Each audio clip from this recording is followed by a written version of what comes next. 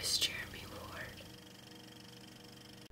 Ward. To the microscopy of thinking small, to have room enough to think at all, I said, Cramped mirror, faithful constriction, break, be large as I.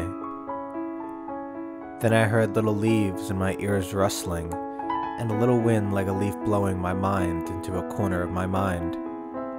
Or wind over empty ground when blowing, and a large dwarf picked and picked up nothing.